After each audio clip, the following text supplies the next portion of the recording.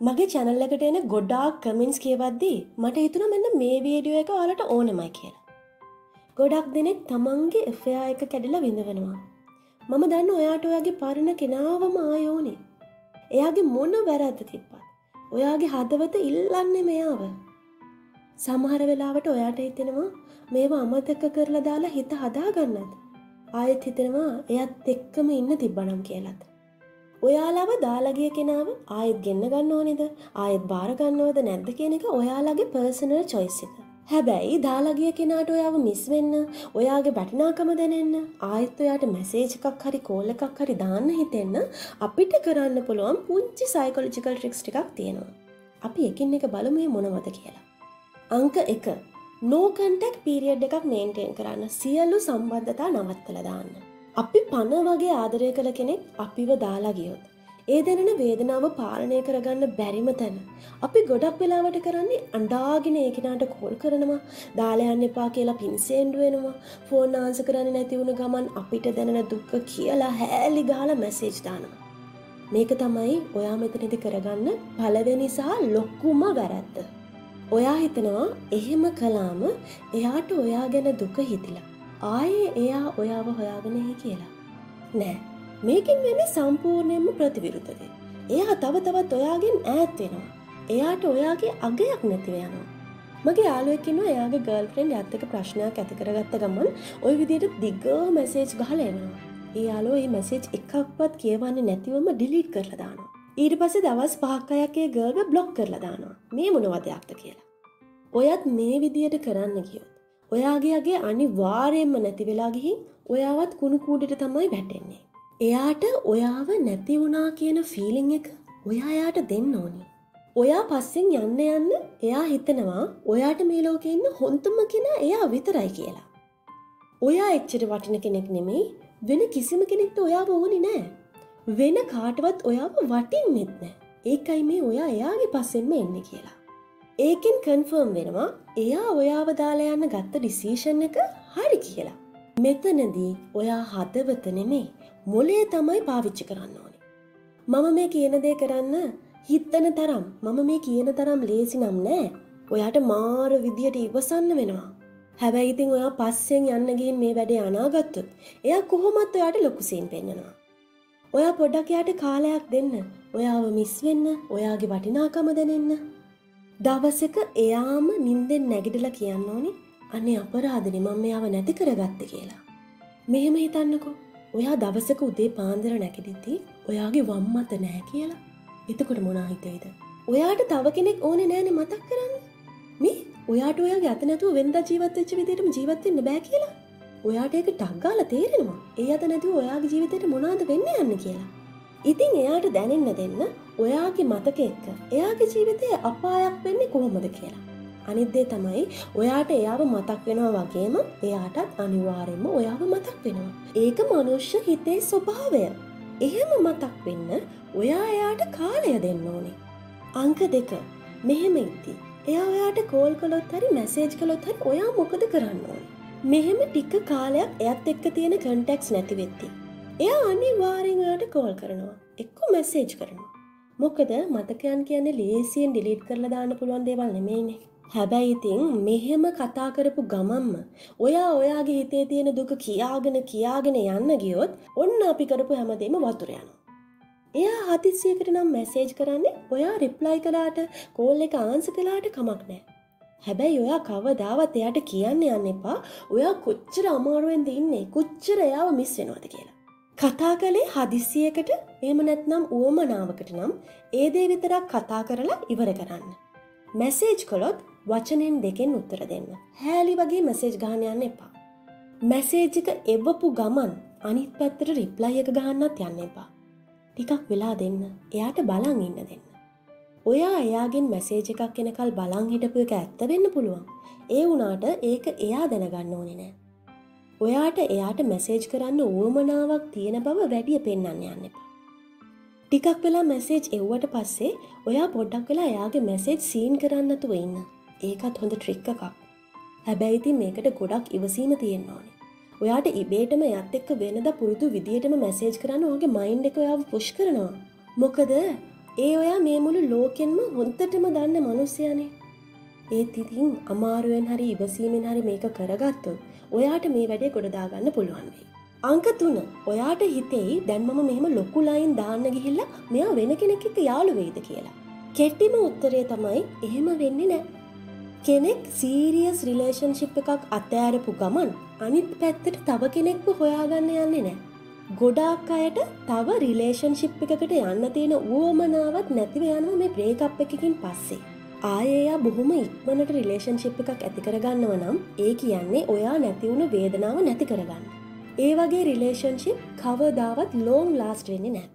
ගොඩාක් වෙලාවට එයාට ඔයාව ඇත්තටම මිස්වෙන්න දෙන්න ඕනෙ නම්. ඔයාට වෙනවා අඩුතරමි සති හතරක් වගේ කාලයක් එයාගෙන් ඈත් වෙලායින්න. මේක මේ මං මගේ අත්දැකීමෙන් කියන දෙයක් නෙමෙයි මගේ අත්දැකීමුත් මේ වීඩියෝ එක තියෙනවා.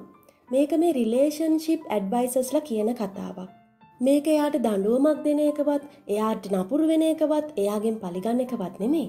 ඔයා මේ දේවල් කරන්නේ ඇත්තටම ඔයාට එයාව ඕන නිසා. ඒකෙන් වෙන්න ඔය දෙන්නටම හිතන්න කාලය ලැබෙනම මොකක්ද ඇත්තටම වුණේ ඇයි ඔය දෙන්න ඇත්තුනේ කියලා. අංක හතර ශෝෂල් මීඩියස් වල අන්ඩන පෝෂ්ෂයා කරන එක නතර කරන්න.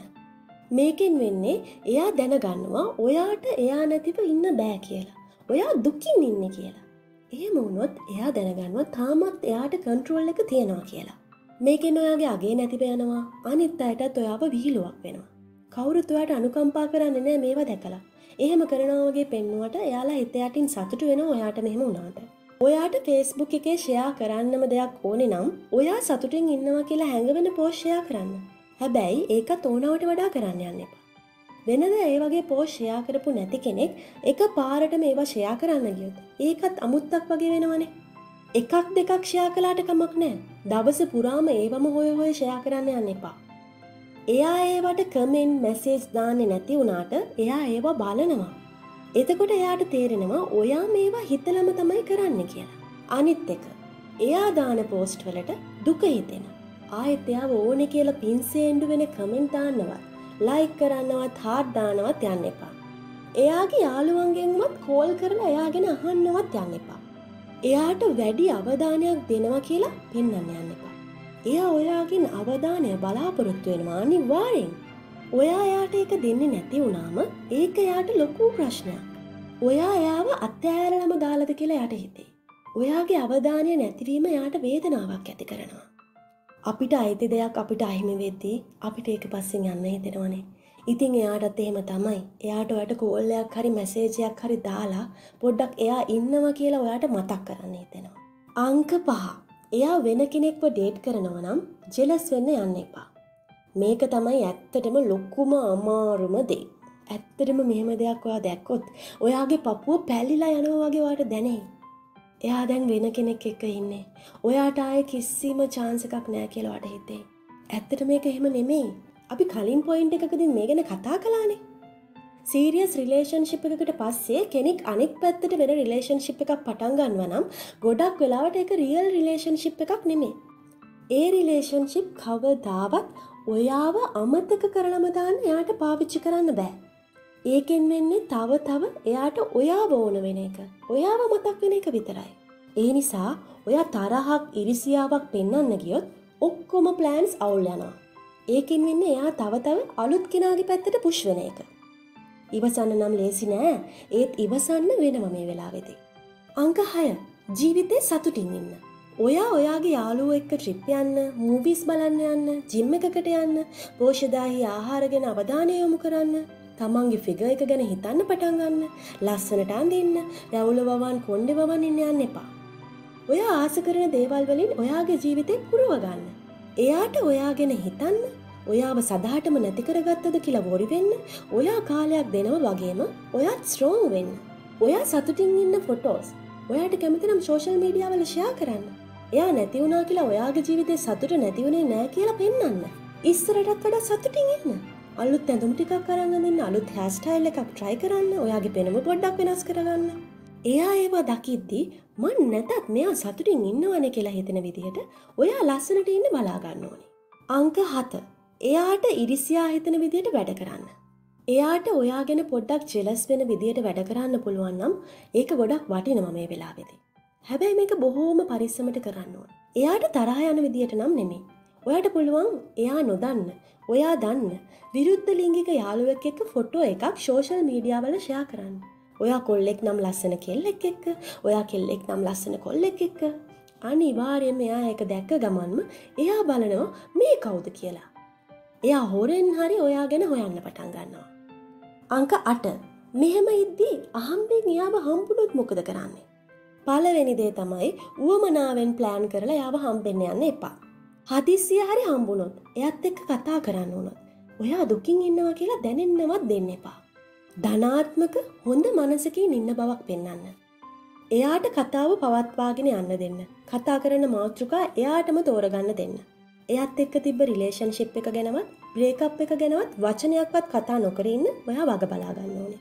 විනාඩි දායක් විතර කතා කලාම හොඳටෝම ඇති. ඊට පසවා ශේප් එක එතනින් මාරු වෙලා යන්න.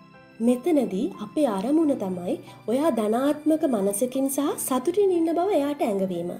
එයත් එක්ක තරහින් වෛරයෙන් ඉන්නවා කියලා යාට පෙන්නුවොත් එයා තව තව ඔයාගේ නෑකට යනවා. අංක නමය ඇත්තටම කොච්චර කාලයක් මෙහෙම ඉන්න ඕනෙද. කලින් කිව්ව වගේ මේකට ඔයාට සති හතරක් වගේ කාලයක් දෙන්න වෙනවා. මතක තියාගන්න. ඔයාව මිස් වෙන්න ඔයා නැති අඩුව දැනෙන්න ඔයා එයාට කල් දෙන්න ඕනේ. ඒත් එක්කම ඔයාටත් කාලයක් ඕනි බ්‍රේකප් එකෙන් පස්සේ ස්ට්‍රෝං වෙන්න පොසිටව් විදියට හිතන්න පටන් ගන්න. කෙටියෙන්ම කිව්වොත් ඔය දෙන්නටම කාලයෝනි තේරුම් ගන්න ඇත්තටම කොතනද යාලට වැරදුනේ කියලා. ඇයි හැම දෙයක්ම අවුල් කියේ කියලා. ඒකට සතිහතරක කාලයක් ඕනෙමයි. ඔයා ඒ කාලයට අඩුවෙන් මේ වැඩේ කරන්න හැදුවොත් ඒක ඔයාගේ පැත්තටම තමයි අවාසියක් වෙන්නේ. අංක දහය.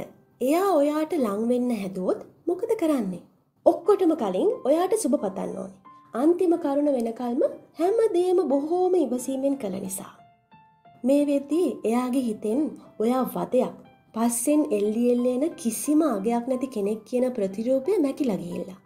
ඒත් එක්කම ඕගොල්ලො දෙන්නගේ මිහිරි මතකයන් ඔයා චෙරිස් කරනවා වගේම එයත් මේ වෙද්දි ඔයාව මතක් කර කර තමා ඉන්නේ. ඕගොල්ලො දෙන්න අතර වෙච්ච ප්‍රශ්නවල තිබිච්ච වේදනාත්මක ස්වරූපයන් මේ වෙද්දි යාගේ හිතෙන් මැකිලගිහිල්ලා. මේ වෙද්දිත් එයා ඔයාට කෝල් කළේම නැත්නම්. ඔන්න දැන් වෙලාව එයත් එක්ක නිවි සැනසිල්ල කතා කරන්න. සීයට දහයක් වගේ පිරිසක් ඉන්නවා කොච්චර ඔයාව ඕනෙ වුණත් ඔයාව මතක් වුණත් ඔයාගෙන් කෝල් එකක් එනකල් බලං ඉන්නවා මිසක් ඔයාට කෝල් කරන්න නෝන්ඩි වෙන්න කැමති නැති කට්ටිය. ඔයාගේ කෙනත් අන්න එයාලා අතර කෙනෙක් නම් මේ වෙලාවෙදි ෆස්ටෙප් එක ගන්න වෙන්නේ ඔයාටම තමයි. දැන් ඔයා එයාට කතා කළොත් එයා කව්ව දාවත් ඔයාව රිචෙක් කරන්න නෑ. මොකද මේ වෙද්දී කිව්වත් නැතක්. එයාට ආය ඔයාව හොඳටෝම ඕන වෙලා තමා තියෙන්නේ. හරි අපි මේ වීඩියෝ එක මේ ටිප් එකෙන් නවත්වනවා. මේ වීඩියෝ එකේ දෙවැනි කොටස අදහවස හයවෙද්දි මං අප්ලෝඩ් කරනවා. ඒකත් අනිවාරයෙන්ම බලන්න. ඔයාලට තව මොනාහරි ප්‍රශ්නයක් තියෙනවනම් පහලින් කමෙන්ට් කරන්න. එනම් අදට ගීල් එන්නම් සුභ සතියක්